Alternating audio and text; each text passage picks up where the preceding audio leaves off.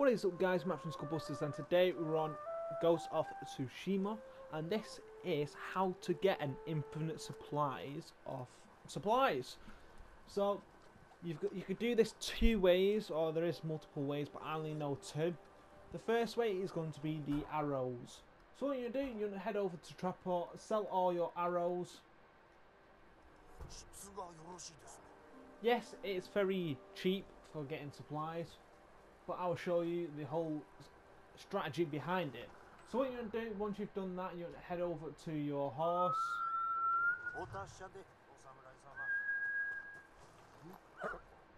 Once you're on your horse, you're going to fast travel to uh, uh, a base that you have liberated.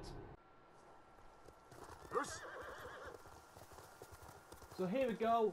I've I've liberated this base, so I can get here, get ammo, and then fast track back to the survivor camp and keep selling the arrows.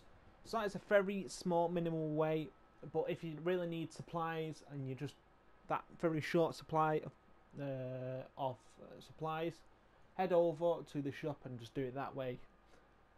So that was number one.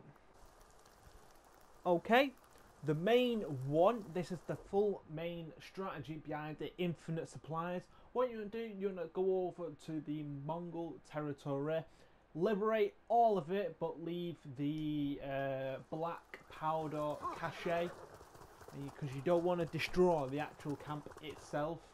So let me just highlight it. So I would recommend destroying or killing everyone inside it once you kill everyone inside it, go loot it. Don't destroy the base. If you destroy the base, you destroy the loot itself.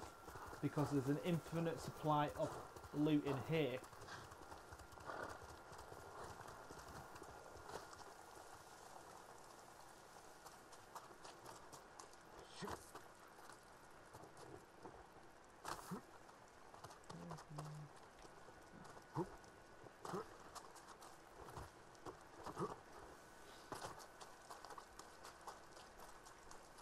So, for example, here is the stable. You can see the horses. There is a crate over here. If you open that crate, you get arrows. Okay, that's a bit crap. And I get supplies.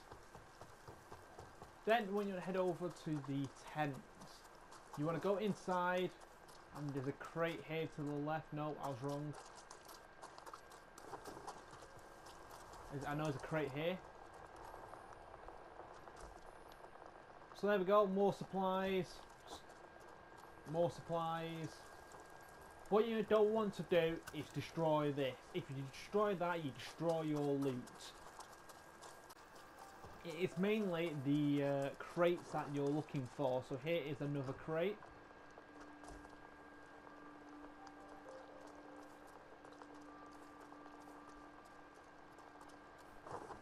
Okay, I'm going to speed it up and tell you to fast travel right now.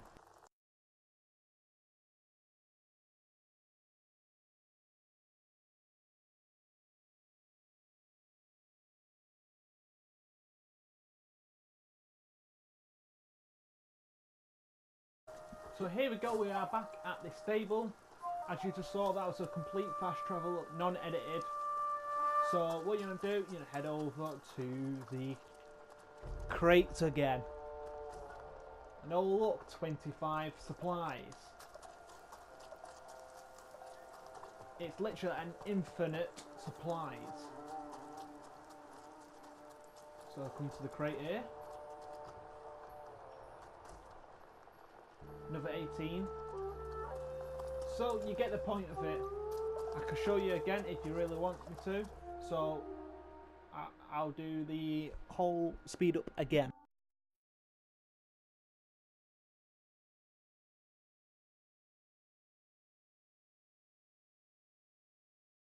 So here we go, we're back at the uh, logging camp and look, the crate here is ready to collect once again.